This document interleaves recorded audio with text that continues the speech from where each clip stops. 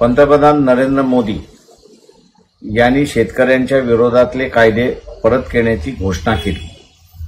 आता पाहायचं हे आहे की ही घोषणा पुन्हा पार्लमेंटमध्ये केल्या जाते का?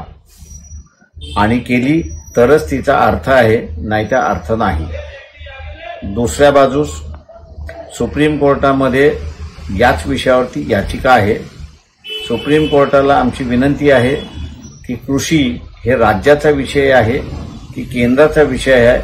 या संदर्भात ताबडतोब त्यांनी निकाल द्यावा.